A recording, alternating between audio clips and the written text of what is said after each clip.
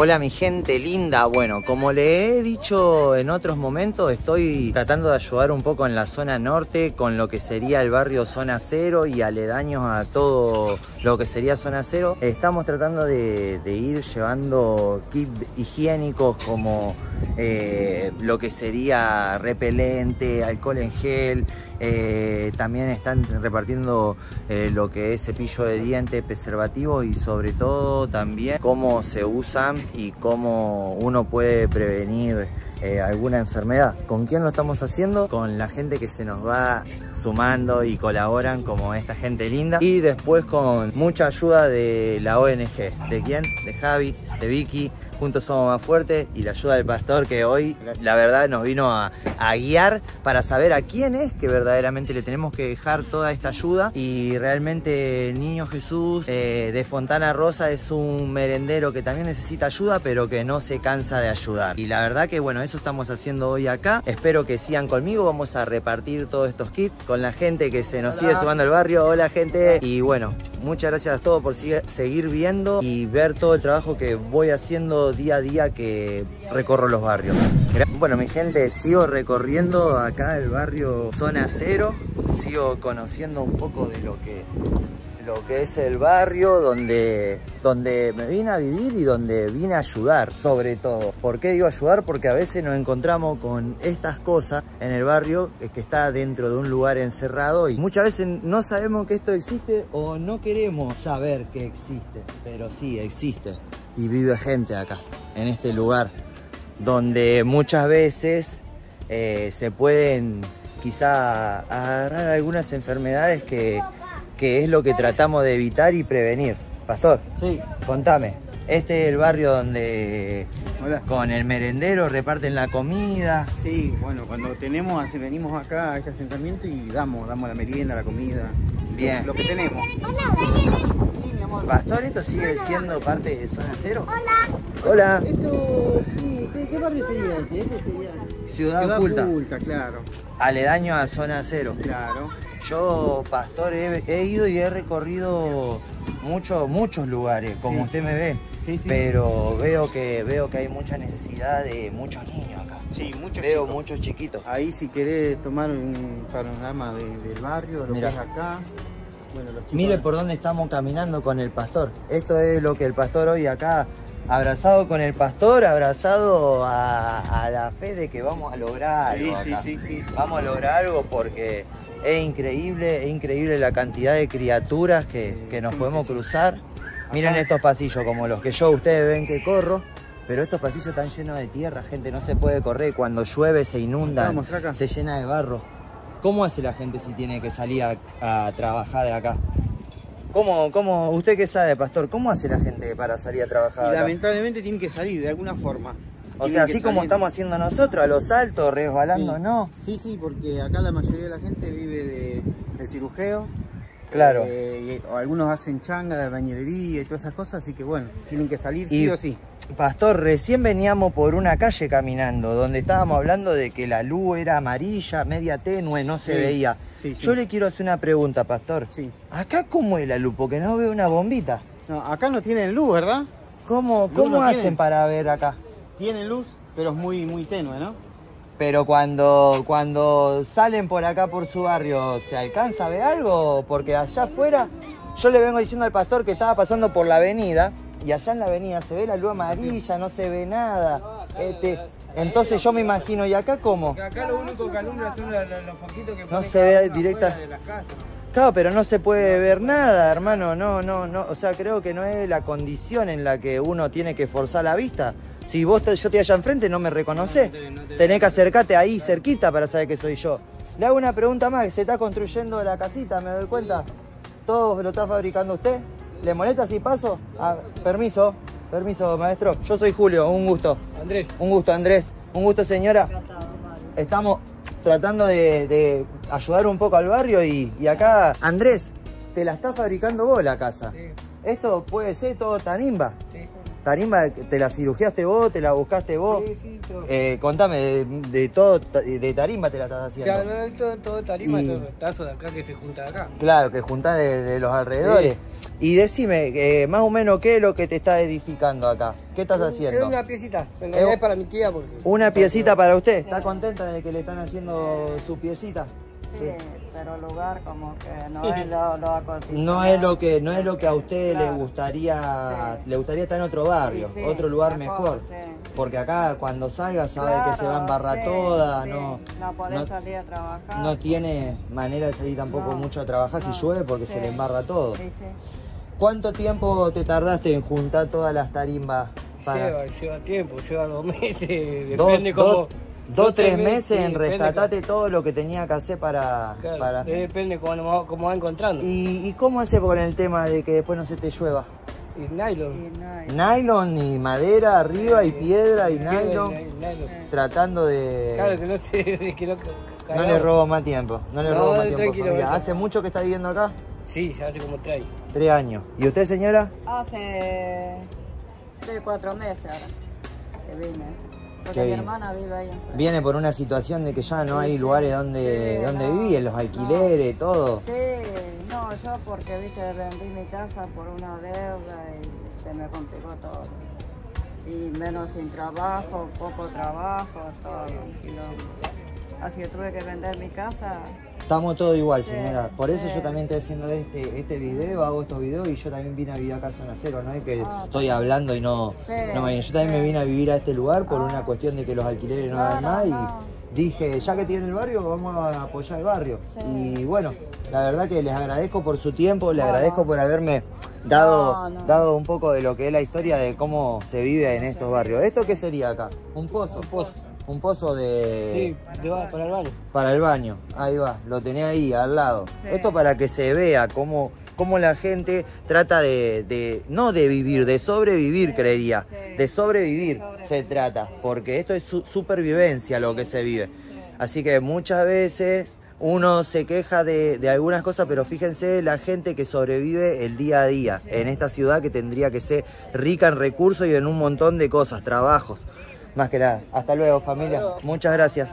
Hasta luego, muchas gracias. Antonia, un gusto, Antonia. Ella me planteaba justamente la situación de, de- de- hacer un ripio o algo acá y poner luces, porque es verdad, no hay luces, no hay nada acá en la noche. Es por eso Claro, que, que trato. mejoramiento de la calle ya sería y con la luz en la calle Es sería lo que un estoy diciendo total. en el video, como para Claro. que se Porque esta sepa. calle tiene salida, eh, o sea, Acá hay gente que se va a trabajar salida. o cirugía. Sí, viva de lo que sí. viva, cirujeo o Sí. lo que sea. Acá tiene que poder salir porque Claro. eh, no pueden arrastrar un carro, nada Claro, por yo le acá. digo a él, Se te salía- engancha en el barro, mirá sí. lo que es. Mirá lo que es para allá. Salí es a trabajar imposible. con una zapatilla, ya te tenés que cambiar. Claro, no, no, lleno de, de barro y aquel Sí. que no tiene unas botas o algo Claro, para sí. salir se queda sin trabajo, te quedas, Sí, sí. te quedas sin trabajar un día, Claro, no comes. porque falta- y sí. ¿Entendés? Vamos, Claro. por Vamos. medio hasta- Un gusto, Bueno, señora. Bueno, igualmente. Seguimos Así- caminando, ter- terrible lo que estamos que estamos viendo, lo que la- me la- dice la gente. La mayoría no, de- justamente reclama... Todo está hecho con, ven, Sí. eh, piletas, esos son piletas que se ve que encuentran, que no. que Sí, sí. contó que se, le- se tuvo que ir porque a vivir la- de la suela porque se le inundó Sí, todo. se le, se le inundó todo, Sí, todo. pasó el agua. Claro, tienen que irse hasta que baje, baje el agua de vuelta. Pastor, ¿cuánto tarda el agua en bajar? Porque yo conozco el charco que vos tenés que no baja por dos semanas. Acá la gente tiene que estar Hola. dos semanas. Sí, hola, hola. ¿cómo les va? Eso es lo que yo quería mostrar, No. hasta dónde hay casas que... O sea, se dan cuenta de que ya eh, hemos caminado, hemos caminado, hemos dejado atrás, la gente ya sabe toda que hemos pasado y se ve la gente a lo lejos de todo lo que hemos caminado. Pero llegamos a este punto, a este punto donde ya no se sabe si, si es fauna, si es casa, si, pero ve, allá al fondo se ve. Se ve muy bien cómo la gente viene caminando de, de aquel lugar, de aquel lugar donde, donde tenemos todos estos charcos, donde está todo este barro, donde vive gente realmente. Acá vive gente. ¿Me entienden? Estamos acá en parte de zona cero, zona norte. Me dijeron que era la oculta, ciudad oculta. Esto, esto es la ciudad oculta. Era la ciudad oculta porque la acabo de descubrir. Y espero que como yo la descubrí, que muchos la pongan en el mapa, porque este lugar también se necesita, se necesita la ayuda que, que verdaderamente se tiene que tener. Muchas veces nos quejamos de cómo vivimos, nos quejamos de la basura, pero estos lugares no tendrían que existir. Yo lo que siempre digo es que hay que tratar de, ir a los lugares donde se tiene que, que ir a ayudar, donde realmente no se conoce. Me gusta porque uno puede llegar a estos lugares donde quizás en otro momento no, no se hubiera ni podido pasar.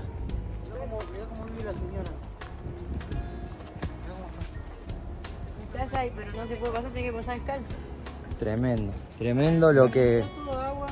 Decime, decime cómo es tu situación acá en, en- Sí. con tu casa.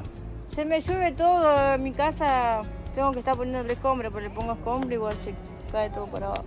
¿Y cómo hace ahora para pasar Y por descalza tengo que... Descalza y llegás adentro con todos los pies mojados. Sí, se me mojó todo, la ropa, el televisor, todo. O sea que prácticamente es invivible acá. Sí, sí, acá no se puede. Y cuando tenés que salir a comprar la cosa para los chicos, la comida, ¿cómo? Y es un quilombo, es un- todo un tema pasar todo. ¿Hablaste con alguien? ¿Alguien te trajo en algún momento alguna No, no. solución? ¿Alguna ayuda? No, no. Sí. ¿Nadie se acercó? ¿Nadie se acercó como para poder ver en la situación que están viviendo? No, no, porque nunca pueden. Va, pedí ayuda a todo, pero viste cómo soy. Yo te quiero hacer, te quiero hacer una pregunta de- del corazón, sin, sin faltar el respeto. ¿Alguien ha venido acá a traer, aunque sea kit de, de higiene? ¿O Nunca nadie. algún, algún análisis HIV de sífilis? No, ¿Hace, no. ¿Hace cuánto que no te hace un análisis? Y hace bastante. ¿Bastante? ¿Una semana? Un poquito más. ¿Más? ¿Un año? Sí, por ahí encima tengo los nenes ahora que adentro, así que. La verdad que nosotros vinimos a conocer el lugar y... Si querés le digo que te deje pasar por ahí y ve ahí cómo es más. Voy, voy por ahí si querés. Permiso. No, muchacho, como te ves salir. Ahí está saliendo la gente del fondo, ¿eh? Sale la gente del fondo empujando las motos porque se, se le embarran todas. No podría salir, no podría salir andando con la moto. ¿Qué, qué- con- has hablado entonces con asistente social? No, no, ella. ¿Vos has hablado con asistente social? Sí, pero no, yo antes, yo hace poco vine, pero... Esto ahora se bajó la agua, Permiso, pero. ¿sabés lo que era? Sí, es una lagunita. Esta es la casa, ¿cómo es tu nombre? Sabrina. Esta es la casa de Sabrina. Sabrina sufre de la inundación. Sufre que, que, que todo este lugar se inunde y cuando se inunda la única forma de, de entrar es descalza, como me lo está diciendo. No llega, no llega análisis de HIV, no llega salubridad, no llega análisis de sífilis, no llega nada acá.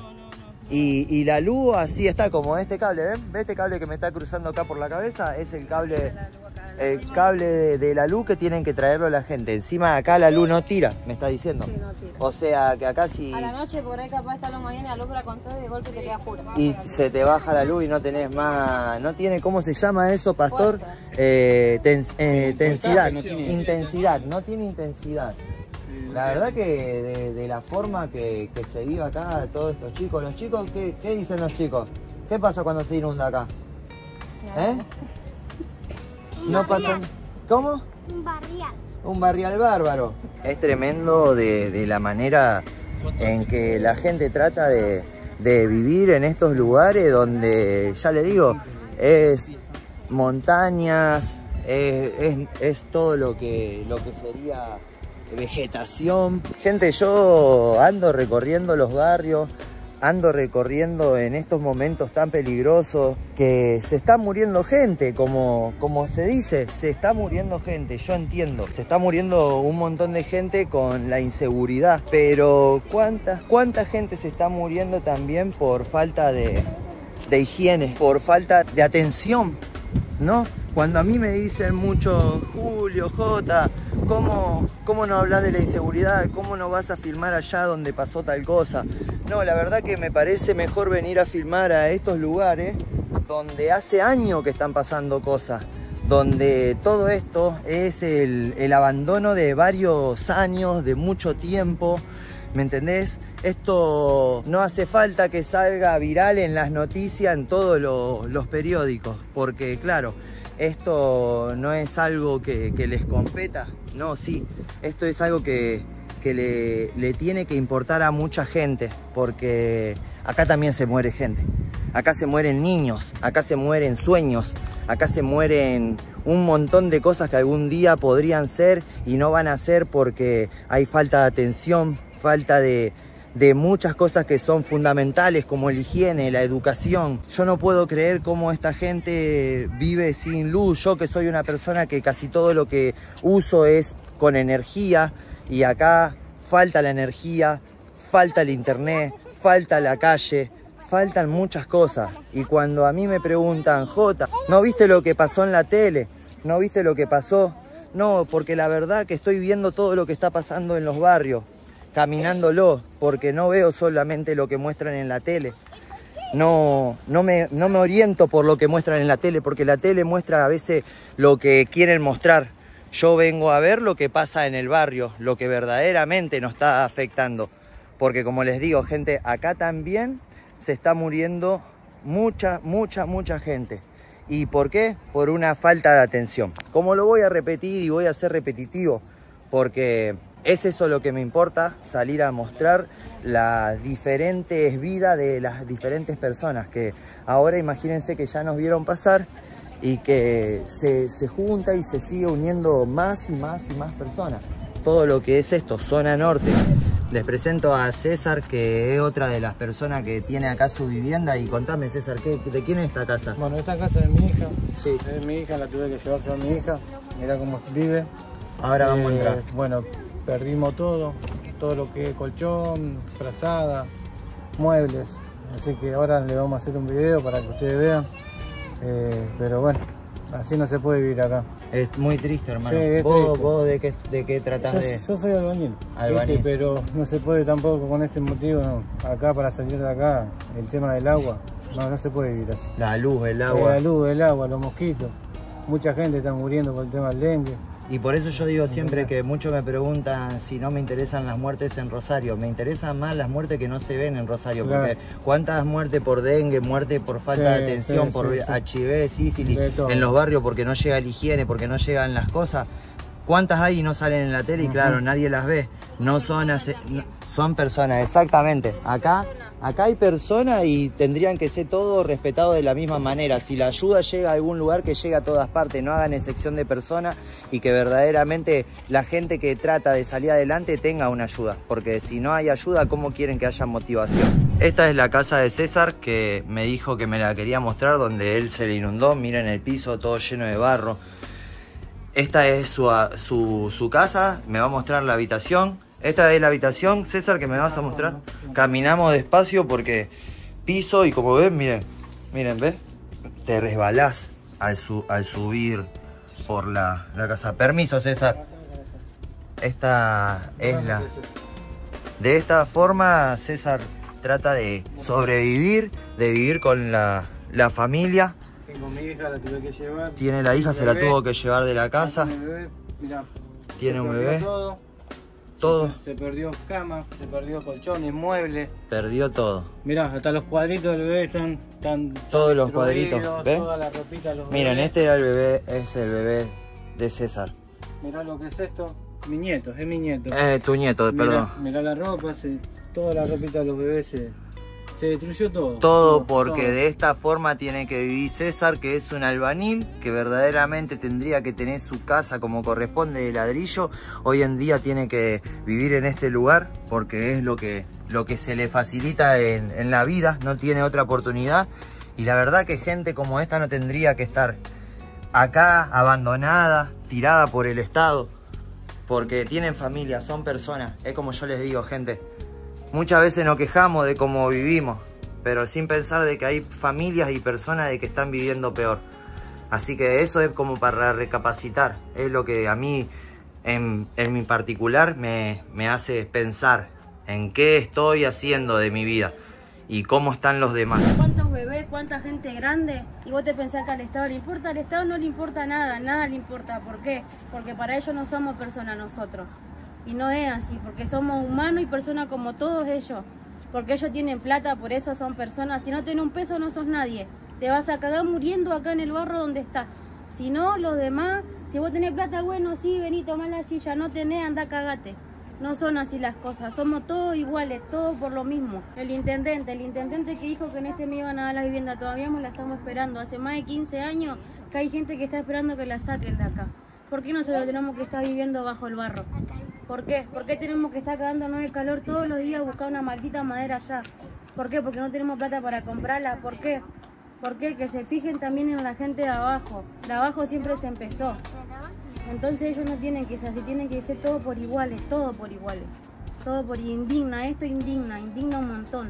La gente grande, hay un hombre que está ahí, que los hijos lo dejaron abandonado, solo ese muchacho ayer, que no me deje mentir y vinieron a pedir por favor que lo llamen por teléfono. Si el viejito de la otra vuelta se descompuso casi se muere. Vos te pensás que vino la... No quiere entrar la ambulancia, la policía no quiere entrar nadie acá. Nosotros, nadie. Nosotros tenemos que sacar Nadie. abrazado. Tenemos Nadie. que subir y sacarlo hasta la calle. O sea, es de terror como viven. Sí. Discúlpeme familia, pero es de Es terror. así, es Como así. ustedes viven, no, no, no hay ser humano que se La merezca verdad me saco el sombrero con ustedes porque entraron sin decir todo, tengo miedo a esto, lo otro, porque siempre hacen cualquier escándalo, no, que porque esto, no, porque es un barrio humilde como todos los barrios donde vos vayas, hay un montón de gente que se inundó, que le No, pero la gente falta- dice eso porque hoy en ¿Me día se vive un momento muy peligroso en Rosario. sí, se, eso está, lo mu- se entiendo, está muriendo gente. entiendo, pero sí yo lo también lo entiendo. entiendo. ¿Y sabes lo que me da bronca? Es que acá hace un montón de años que se está muriendo gente. Y porque no salieron en la tele, ¿entendéis? Se están muriendo por falta de higiene, se están muriendo de nutrición, se están ratones, muriendo. No me dejen mentir, no me Acá- dejen mentir. Acá no apareció una víbora que la encontró mi hijo, tiene cinco años mi hijo. Encontró una víbora ahí, él y mi marido saliendo corriendo a matar una Víbora, víbora. alacranes. ¿Alacranes no vieron por acá? Sí, a la Sí. vimos. ¿Sabés lo que pasa acá? Que después de las 12 acá se corta la luz, ¿entendés? Acá tenés que prender un trapo adentro para que se vayan los mosquitos, ¿entendés? Sí, no es un- Y yo por ahí, yo tengo mi hija, ¿entendés? Tengo mi hija que está esperando familia, yo no la puedo tener así acá. Hay muchas criaturas, ¿entendés? Muchos bebés.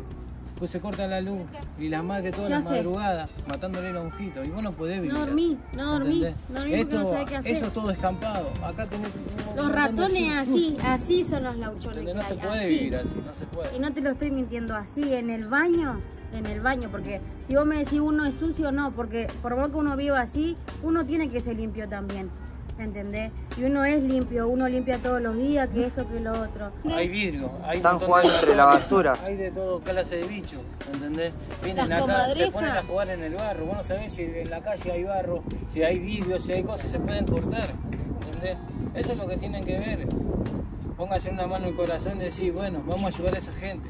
Porque es lo único, es lo único, lo que vos ves acá es el único rancho que hay, ¿entendés? Pedimos ayuda en Lo todos lados y pedimos hacen ayuda, esto, no se lavan las pedimos- manos, no porque pedimos, no así. pedimos lo que es dinero, Se pedimos ayuda manos. nomás que ayuden a la gente. Hay O que nos hagan vivir un poco mejor, no, no sé, un poco mejor. No le estamos pidiendo que nos den plata porque no estamos pidiendo eso.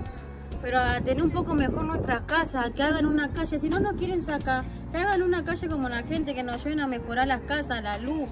Hay chicos, hay muchas criaturas. Hemos, hemos eh, escrito en un cuaderno cuántas familias, hay más de 250 familias acá. Más de 250 familias. Eso porque no eso porque no recorriste adelante, porque si vos corres de, la- de adelante para este lado, cantidad de basural. Vos, te caminás un poquito y te vas a dar cuenta que no no se puede vivir así. No se puede. Mucha gente se está muriendo. Le pican los mosquitos, se muere la gente. Dengue. Se muere, se muere por el dengue. Yo tengo ¿entendés? dengue. Y no, no es vida. Yo Les quiero hacer una pregunta. ¿Hace, ¿Hace cuánto que no se hace un análisis HIV o sífilis? Y hace, yo hace como, Sí, yo te miento, casi un año. No, ¿Le gustaría que venga? Y claro, Que hagan claro, análisis estaría- HIV y sí, sífilis sí, acá. Sí, claro, claro, ¿entendés? Estaría bueno para que hagan algo también, ¿entendés? Porque no hay higiene, No hay gente, nada, no hay... No hay nada. No, y cuando hablo no hay higiene es porque ahí hay cosas que tienen que traer, análisis HIV, sífilis, porque acá hay mucha basura. Sí, eso no Hay es nada. mucha- Si de aquel lado al frente, Ustedes no saben de dónde, ustedes no saben de dónde viene No. toda esta basura. No. ¿Entendés? La cantidad de agujas cuando vamos a buscar una maldita madera allá al basural. ¿Cuántos clavos uno se tiene que clavar? ¿Vos qué sabes que te agarra con ese clavo? Uno no sabe que se agarra con el clavo los vidrios que tiran. Vos no sabés de dónde viene. ¿Vos te pensás que a ellos les importa?